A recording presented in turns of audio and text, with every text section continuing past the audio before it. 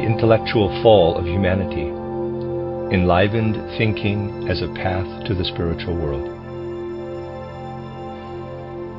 In recent lectures, I have spoken about human consciousness in our time. It poses one of the tasks of the Anthroposophical Society that must be accomplished. Modern consciousness can be achieved only when the tasks of culture, and indeed of civilization as a whole, are grasped from a spiritual scientific point of view. On several occasions, I have tried to characterize what religions mean by the fall of humanity. Religions often say that the fall, parenthesis, a fall from divine grace or a fall from innocence through the knowledge of evil, close parenthesis, marks the beginning point of the historical development of humanity. Over the years, I have pointed out that the fall encompasses a significant change that has occurred during the course of human development. The growing independence of the human being from the immediate guidance of divine spiritual powers. We know that consciousness of this independence, this autonomy, appeared when the consciousness soul emerged during the first half of the 15th century of the post Christian or Common Era, CE. We have spoken about this turning point on many occasions. Actually, the entire course of human development, preserved in history and myths, was a preparation for this moment in which the individual became conscious of human freedom and independence. A preparation for humanity's struggle on earth to develop its self generated capacity to discern and to make decisions, rather than to depend upon the direct guidance of divine spiritual powers. Religious statements of belief point to a cosmic earthly event when the spiritual and soul instincts, which guided human morality in ancient times, disappeared as the human capacity for decision making arose.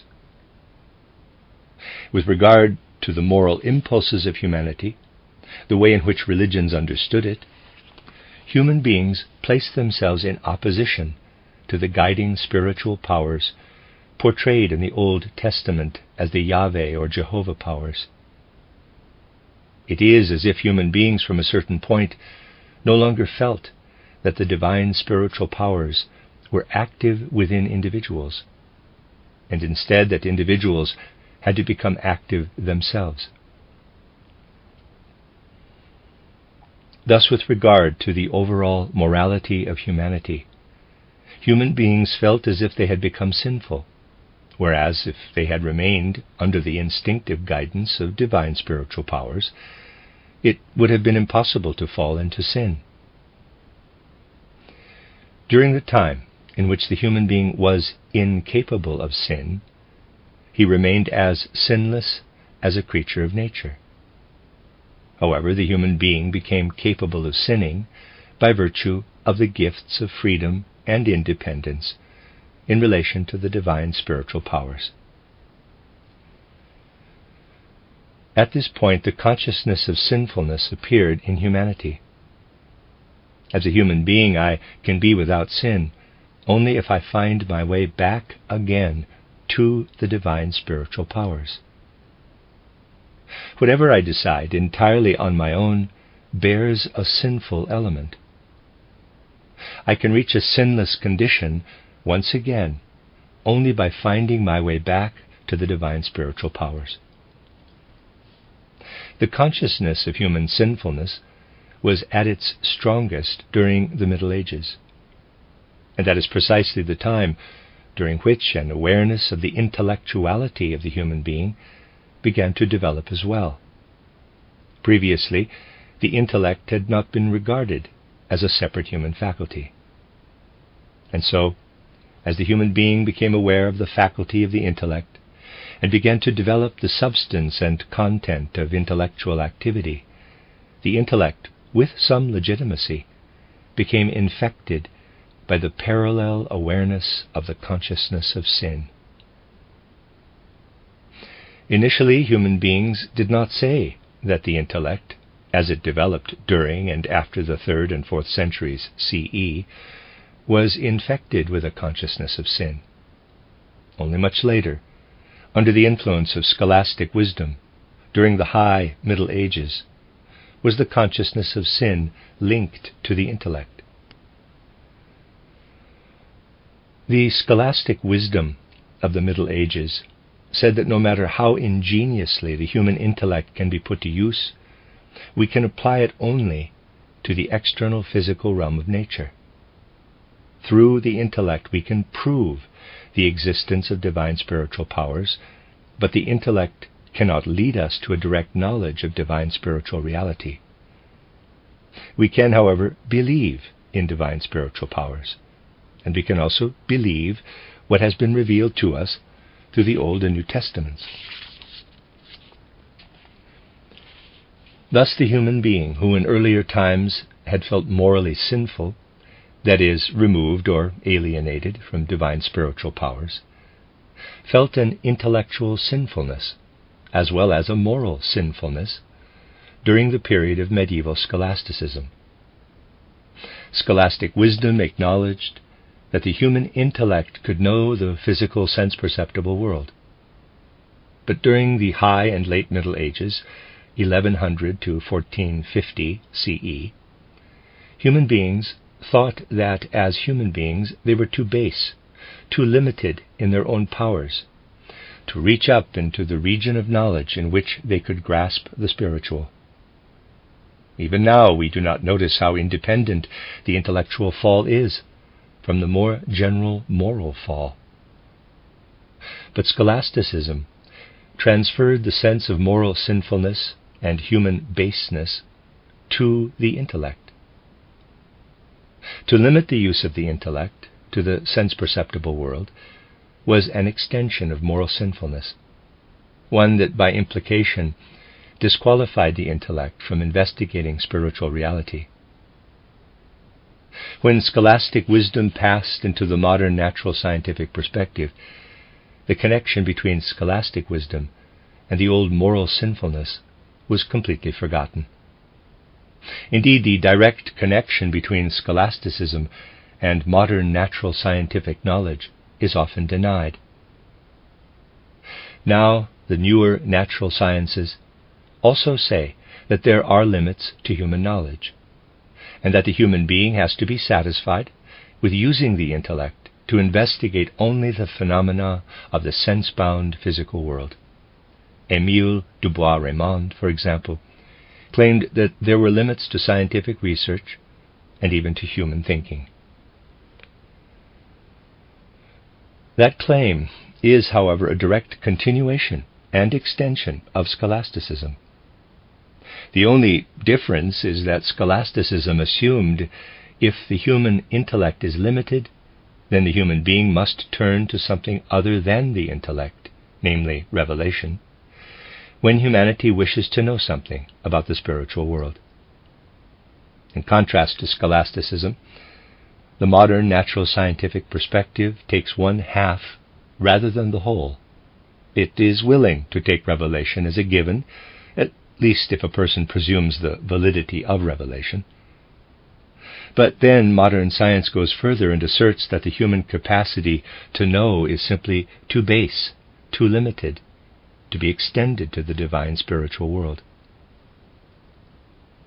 When scholasticism was in full bloom, during the High and Late Middle Ages, the constitution of the soul was not as it is today.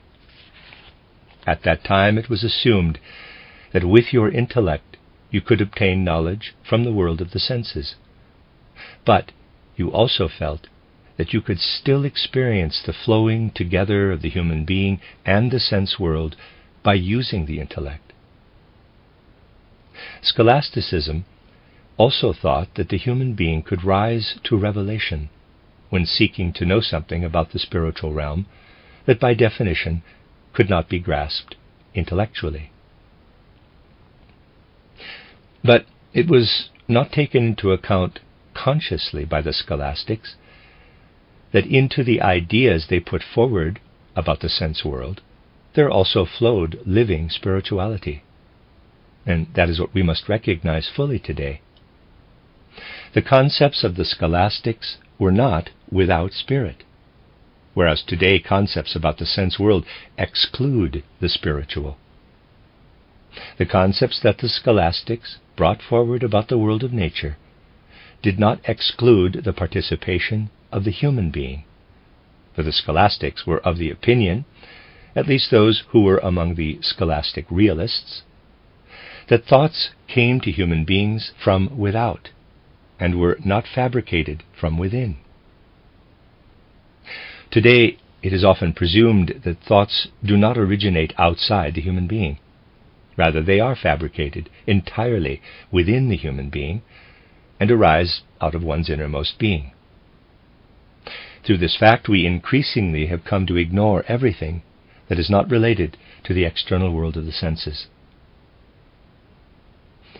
Charles Darwin's theory of evolution showed the extent to which scientists in the 19th century had dropped everything that was not related to the sense perceptible world.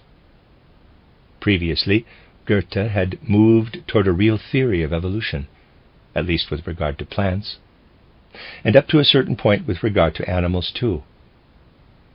However, he did not extend his ideas to the human being. When you examine his writings to see if he might have pursued this direction, you will see that he stumbled whenever he tried to find implications for metamorphosis within the human being. He formulated an outstanding theory of plant metamorphosis, and also wrote with insight about animals, but he came to a standstill when he tried to speak about human development or metamorphosis over time human intellect, when it is permitted to deal only with the world of the senses, will not be able to discover the full, the true, the essential human being. It is indeed astonishing that Goethe could never say anything about the development of the human being. Goethe himself never applied his theory of metamorphosis to humanity. Guided by anthroposophic insight today, we expect to apply Goethe's theory of metamorphosis far beyond his applications, and still remain true to the originator's own methods and principles. How far forward has modern intellectualism brought natural science? It has reached the evolution of animals only up to the apes, and then added on the human being, without being able inwardly to make any headway regarding humanity. The closer investigators come to the higher animals, the greater the difficulty they have forming adequate concepts. It is simply not true that human beings today really understand the higher animals. People merely believe that they understand them. Thus, our understanding of the human being has been separated from our understanding of the world, because real understanding has been torn out of the concepts we use our concepts have become less and less spiritual, and the prevailing spiritless concepts, which view the human being merely as the end point of the sequential development of the animal realm, now permeate the substance of all thinking. These ideas already flow into children in the early years of their schooling. And if this becomes part of general education, we shall no longer be able to observe the essential nature of the human being. You know that once I tried to approach the entire question of knowledge with a different goal in view. I am referring to my book titled The Philosophy of Freedom and its precursor titled Truth and Knowledge, Reader's Aside, also known as Truth and Science, End of Reader's Aside. Although a resonance is already apparent in title Goethe's Theory of Knowledge, published in the 1880s. I have tried to turn the discussion in a completely different direction. I wanted to demonstrate that in the modern era, we can put aside a traditional approach to thinking, and out of our own inner activity, we can arrive at pure thinking. We can discover that a purely will based capacity for thinking is something positive and real when we allow it to work within us. And furthermore, in the philosophy of freedom, I try to reach humanity's moral impulse out of this purified thinking. Over time, human development has proceeded so that we have increasingly accepted the assumption that the human being is too base, too flawed, too weak to act morally. And from that we assumed that the base and limited nature of the human being applies to the intellect as well. We have developed in such a way that what individuals knew about their true humanity became, quote, thinner and thinner, But beneath the surface, there continued to develop a capacity to go beyond abstract thinking, a capacity in human thinking that is alive and real. There came a point at the end of the 19th century, however, when this capacity to go beyond abstract thinking was not being noticed by human beings. And at the same time, human beings typically believed they no longer had a connection with the divine spiritual. Consciousness of human sinfulness had torn the human being away from the divine spiritual.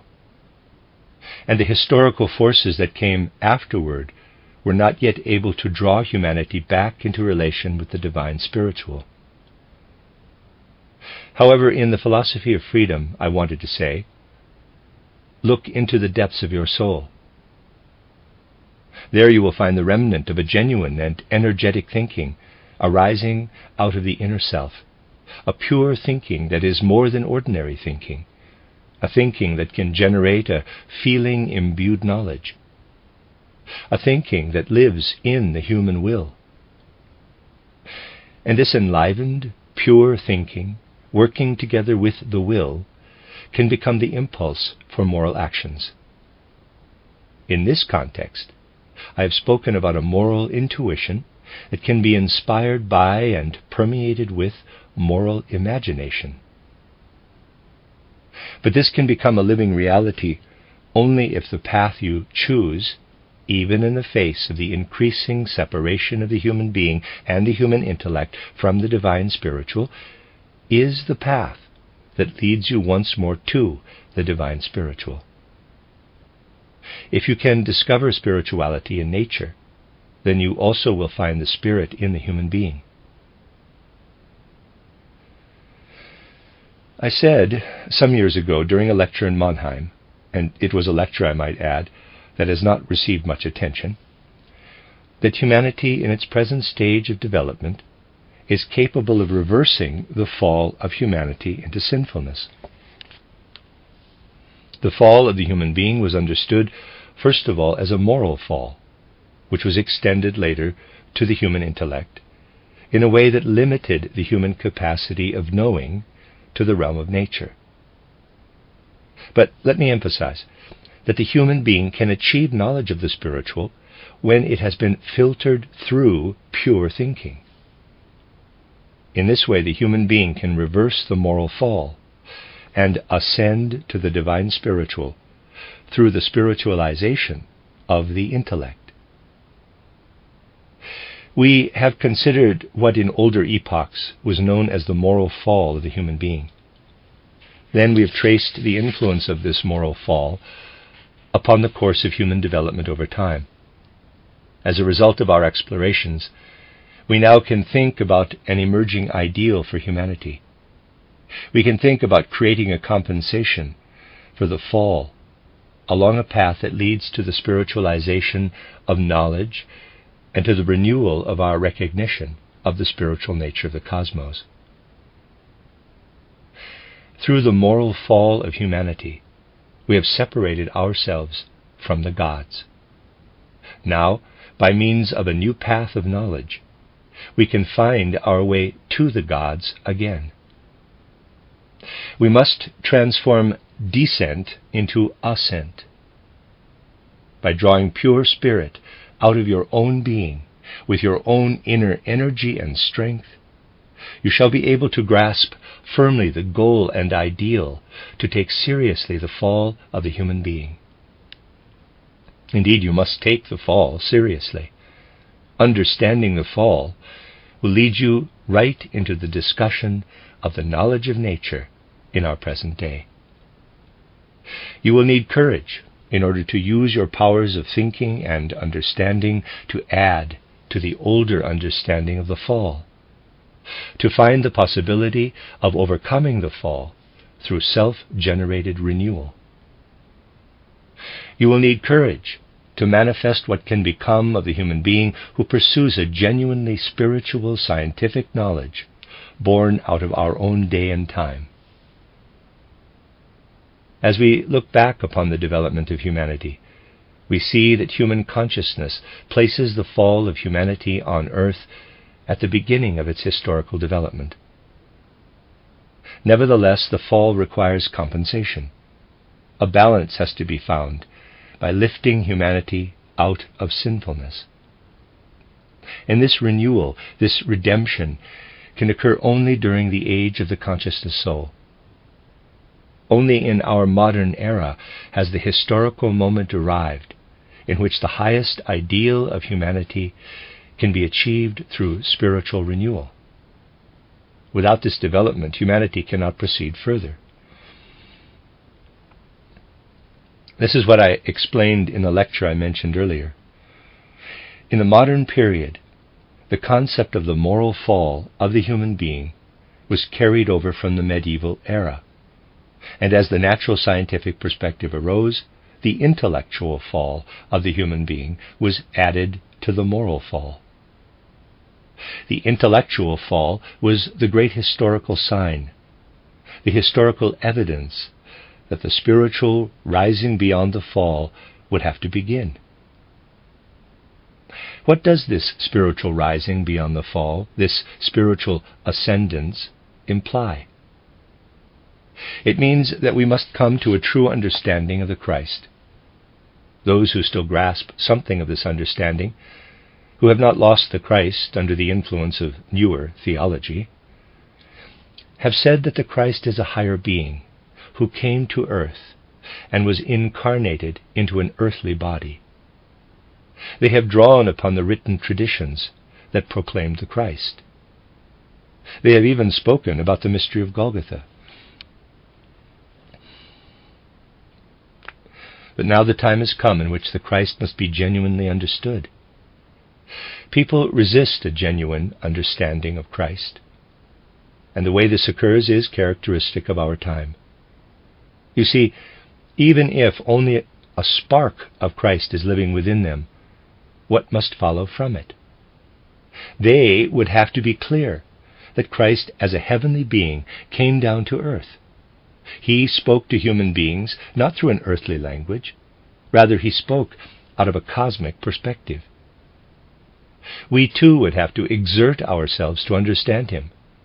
We would have to learn how to speak a cosmic language one that would carry us beyond our earthly experience.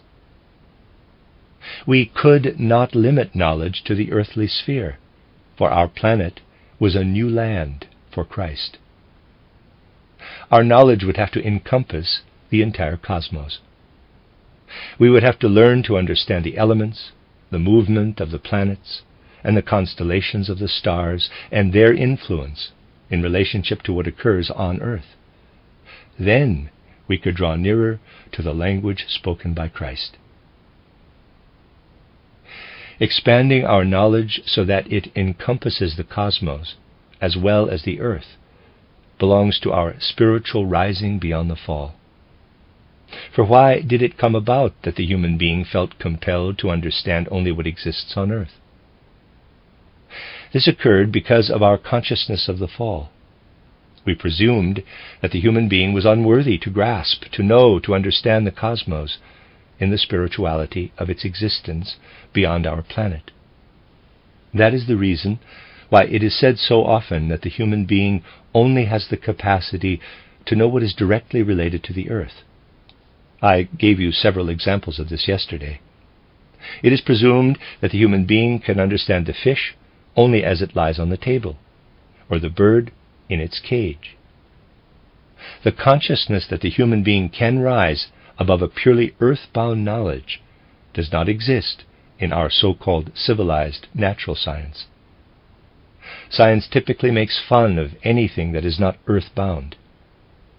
If you begin to talk about the stars, even that draws ridicule from people with a natural scientific point of view. If we want to hear what is really important about the relationship of human beings to animals, we have to look beyond the earthly sphere.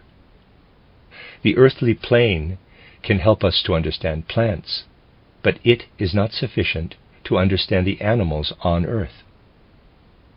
I have already said that we do not fully understand apes. Neither are animals in general comprehensible to us. If you really wish to understand animals, you already have to look beyond the narrow confines of the material earth, for animals live under the influence of cosmic forces. I showed you the example of the fish yesterday. I pointed out that the forces of the sun and the moon on water affect the fish. Indeed, the water creates or determines the form of the fish. The same is true for the bird in relation to the air. As soon as you enter the elements, you come into contact with forces that are active within the cosmos. The whole world of animals may be understood by taking into account what lies within the earthly sphere as well as what exists far beyond it. With regard to the human being, this is even more so. But as soon as you begin to speak about what lies beyond the earthly realm, you are met with ridicule in order to have the courage to speak about what lies beyond the earth, you will have to develop a truly spiritual scientific perspective. As a spiritual scientific researcher, today the strength of your courage will be more important than your intellectuality. Spiritual scientific research is fundamentally a moral task because it is a moral fall that has to be overcome and set aside. First of all, we must learn the language of Christ, the ton uranon, that is, the speech of heaven, in the sense of classical Greek culture. We have to learn this language again in order to understand what the Christ wanted to do on earth. What until now has been referred to as Christendom, and what has been described historically as Christianity, have played roles different from the task we have today.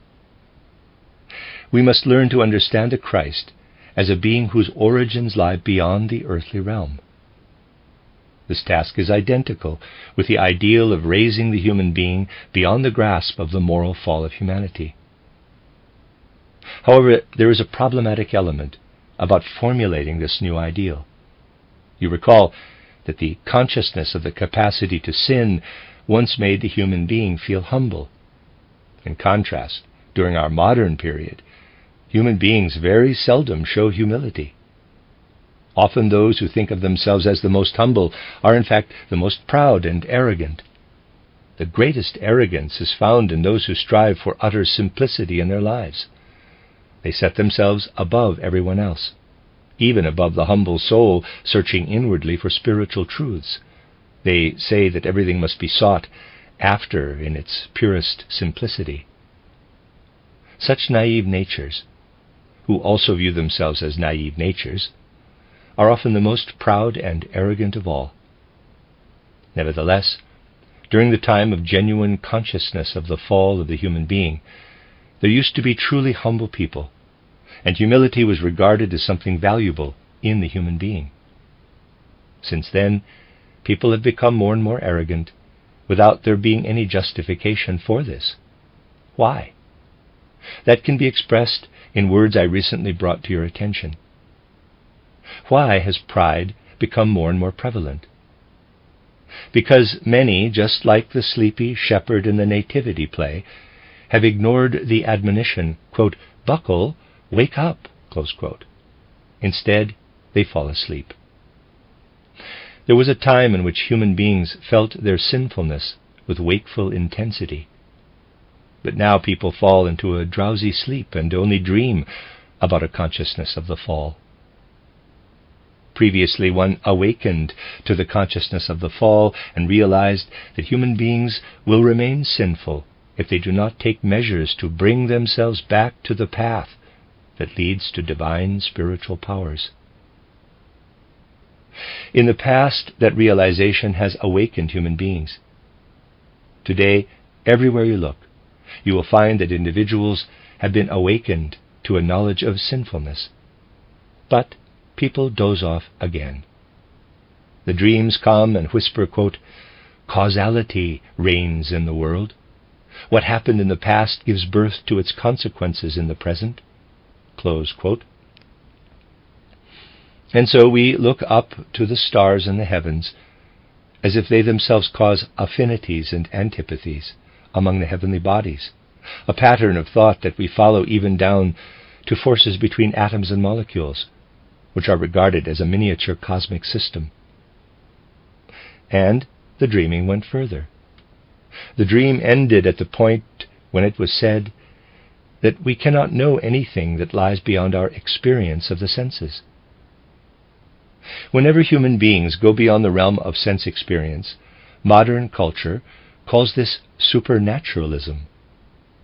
But where supernaturalism begins, there science is said to end. Then the strident tirades of these dreams are brought into the congresses of natural scientific researchers. We hear du Bois-Reymond's discourse, quote, on the limits of the knowledge of nature, close quote. And when the last sounds of the dream fade, sometimes the traces of a dream are not pleasant and it really turns out to be a nightmare.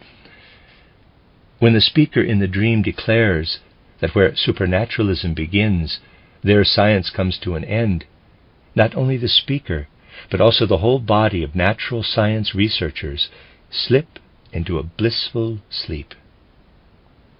Listeners no longer need to activate an inner process of knowing. Everybody can comfort themselves with the certainty that human knowledge is limited to the natural world. And furthermore, there is no possibility whatsoever that the human being can ever reach beyond the limit. The time has come when one can really hear the cry, quote, Buckle, Wake up, the sky is falling. But modern civilization just yawns. Quote, let it fall. It is old enough to let go. That is the state of society today. We have allowed our grasp of knowledge to fall fast asleep. Today's spiritual scientific, anthroposophic understanding of knowledge can penetrate this sleepiness and resound in a new way. It is possible for the human being to rise beyond the moral fall through self generated effort. This has to be drawn out of genuine knowledge. And the awakening of human beings today may very well be linked with the growth of pride and arrogance that was formerly only present in a dreamlike manner. Although some anthroposophic circles are not yet ripe enough to rise beyond the moral fall, there is still a lamentably high level of arrogance and false pride. It is part of human nature that the shadow of pride is more likely to prosper than the light filled potential of human beings. And so, alongside the realization of the need to raise ourselves beyond the moral fall, we also must undertake our own education in the spirit of humility. And we must take in everything in a state of full consciousness. And it is possible to do so. But if pride seems to arise out of knowing, that is a sign that something has gone awry. For when understanding and knowledge are truly present, humility follows quite naturally. It is arrogance to prescribe a program for reform as if you are implying that you know a social movement or the women's movement from the inside out and therefore know exactly what would be possible or correct or necessary or the best way to proceed. In such an instance, it is as if you know everything, the issues and the ways to solve them. But in such a case, you do not recognize your own arrogance, because you explain matters as if you know everything. However, if you have achieved a real understanding of a matter, you remain humble, for genuine knowledge can be achieved, I will express it now in a simple way, only over the course of time. If you are alive with real knowledge and understanding, you know that even the simplest truth can be mastered only with difficulty, and through effort that sometimes lasts for decades. Thus, the process of inwardly working through a matter prevents you from becoming arrogant. But we must pay attention within the Anthroposophical Society of being fully conscious of the greatest ideal for humanity today, rising above the moral fall. And at the same time, be awake and watchful to avoid the corrosive influence of pride and arrogance. Today, the human being needs a strong commitment to truly grasp the being of knowledge, so that we are not satisfied with just knowing a few anthroposophic catchwords about the physical body, the etheric body, reincarnation, and so forth in order to appear to be a model of anthroposophic wisdom. Wakefulness helps us to guard against pride, and it must be cultivated as a new moral quality. It has to be taken into our meditation. Then the rising beyond the moral fall can really come into being. For the experiences that we have in the physical world are the ones that also lead us over into the spiritual world. These experiences must guide us toward devotion to the innermost capacities and strengths of the soul, rather than to promulgating the truths of a particular program. Above all, we must have a sense of responsibility toward every single word that we express about the spiritual world. We have to strive to carry the truth that we have first encountered in the sense perceptible world into the realm of spiritual knowledge if we are not accustomed to working strictly with the facts that can be learned in the physical sense world, and to supporting what we say with observable facts, then we will not be ready to speak with truthfulness when we talk about the Spirit. We cannot expect to grow accustomed to truthfulness only after we enter the spiritual world. Truthfulness is something that we have to bring with us. On the one hand, within the consciousness of civilization today, facts are seldom taken into account. And on the other hand, science rejects the facts that could lead research in the right direction. I want to point out just a few instances from among many examples of this phenomenon.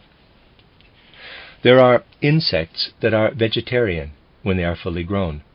They never eat flesh, not even other insects. But when the female of this certain kind of insect looks for a place to lay her fertilized eggs, she places them inside another insect. The host insect is filled with the eggs of the insect mother. After a time of incubation, the eggs release the larva within the body of the host insect. The larvae, which will gradually change into adult insects, are not vegetarian. They cannot be vegetarian for they must feed upon the flesh of the host insect. Only after they have completed their metamorphosis into mature insects are they able to go without eating the flesh of the host insect. The insect mother is herself a vegetarian and knows nothing of eating flesh. But she lays her eggs for the next generation within the body of another insect. Moreover, if these larvae would eat, for example, the stomach of the host insect in which they were embedded, then the larvae would soon have nothing more to eat. If they ate any organ of the host that was essential for the life of the host insect, the host would die, and so would the larva. And so, what do the insect larvae do when they emerge from their eggs? They reject eating any organ that is essential for the life of the host and eat only what is not needed to keep the host insect alive.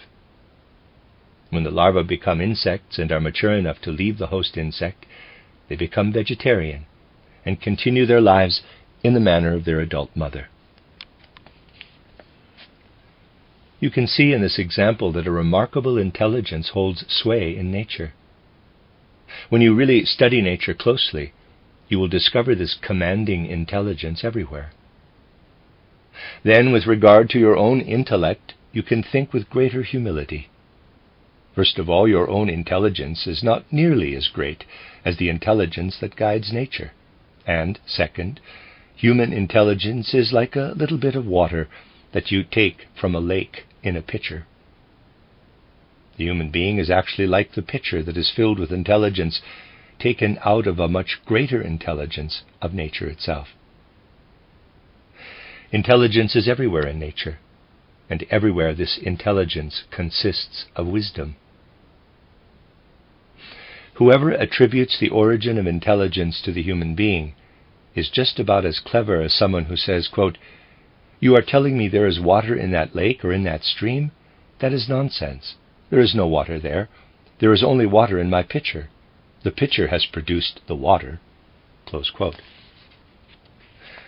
Similarly, the human being who thinks that intelligence can come only from within the human being is incorrect. For in reality, we merely draw intelligence out of the general sea of intelligence. It is necessary that we really take into account the facts of nature. But the facts of nature are put aside when Darwinian theory is insisted upon, or when the facts are forced into the molds of modern materialistic perceptions. The real facts challenge every corner and crevice of modern materialistic presumptions. Today we suppress the facts. It is true that facts are reported, but only anecdotally, as an aside to mainstream science. Therefore, the real facts of nature that are presented only as anecdotal asides in the study of science do not carry sufficient weight in the scientific education of the general public. The facts and observations of the natural world need to be available to the common person. The real facts that are known are not presented in their true significance, and untruthfulness is used to justify leaving out or suppressing the most striking and convincing phenomena. When it comes to rising beyond the moral fall of humanity, however, we must first educate ourselves about truthfulness in the world of sense perception.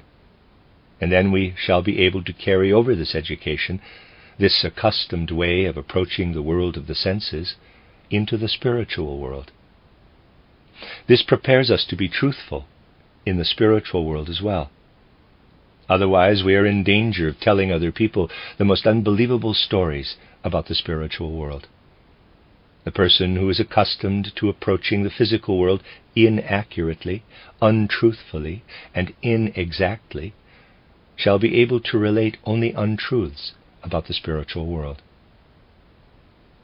If we really grasp this ideal, it can consciously become a reality in the Anthroposophical Society and if we can authenticate what arises out of such a consciousness, then the derogatory assertion that the Anthroposophical Society is a religious sect will evaporate.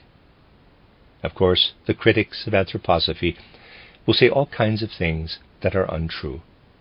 But as long as we give them some cause for their criticisms, we cannot be indifferent to the truth or falsity of what opponents are saying.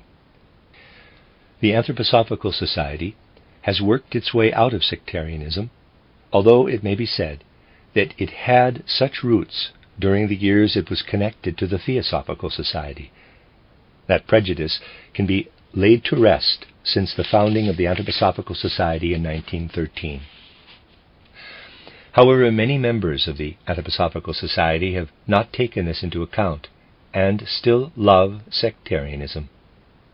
It has come about that some long term members of the Anthroposophical Society who almost wanted to break away from the society when it wished to transform its sectarian origins into a society conscious of its worldwide tasks, have more recently made a different leap. Equally distant from sectarianism, if you look closely at its essential being, is the movement for religious renewal. But the movement for religious renewal has given a number of long term anthroposophists the opportunity to say that although anthrop- the Anthroposophical Society has continued to weed out its sectarian aspect, in the movement for religious renewal, we shall be able to practice and nurture the religious aspect of anthroposophy. And so it may come about through anthroposophists themselves that the movement for renewal could become a desert of sectarianism, something that does not need to occur. We can see that if the Anthroposophical Society wishes to become a reality, the courage to lift ourselves once again into the spiritual world must be actively cultivated. Then, both art and religion can blossom in the Anthroposophical Society. If we take into account the nature of our artistic forms, we shall recognize that they live in the being of the anthroposophical movement itself, and time and again must be discovered anew. Likewise, the true deepening of religion lives within those who find their way back to the spiritual world, and who take seriously the rising beyond the fall through their own efforts. But we must also eliminate in ourselves any dependence on sectarianism, for the inclination to sectarianism is always egotistical. That will help us to avoid the problem of pressing forward into spiritual reality just to satisfy a mystical appetite, which basically amounts to egotistical excess. All the talk about the Anthroposophical Society becoming too intellectual is put forward by those who want to avoid an experience of spiritual substance and would much rather enjoy the pleasure of nurturing their soul appetite within a mystical haze of nebulousness. Selflessness is a requisite for true anthroposophy. It amounts to a kind of soul egoism when anthroposophic members themselves resist true anthroposophy and enter only into a sectarian existence, which satisfies a feeling of delight in the soul that is completely egotistical. These are the things that we must take into account if we are to accomplish our tasks. We shall not lose our warmth toward anthroposophic striving, our sense for the artistic, or our religious sensitivity. We shall avoid what must be avoided an inclination toward sectarianism. This attraction to sectarianism has introduced a quality of disintegration within the society, for it often draws us into forming cliques. Cliques within the anthroposophic movement seem to be an expression of relationship, but they actually lead to a negative kind of relationship, that of sectarianism. We must come back to the cultivation of a world consciousness, so that our opponents, who with full intent want to say what is untrue, are the only ones to say that the Anthroposophical Society is a sect. We must strongly resist the characterization of the Anthroposophic movement as a sect. We should also object to describing the movement for religious renewal as sectarian, for the movement itself is not conceived of in this way. These are the matters that we must clarify in our thinking. We have to understand the innermost being of anthroposophy and recognize that anthroposophy can give human beings a cosmic consciousness. Most certainly, this is not a sectarian perspective. For these reasons, it has been necessary for me to speak about avoiding a narrow definition of the tasks of the Anthroposophical Society.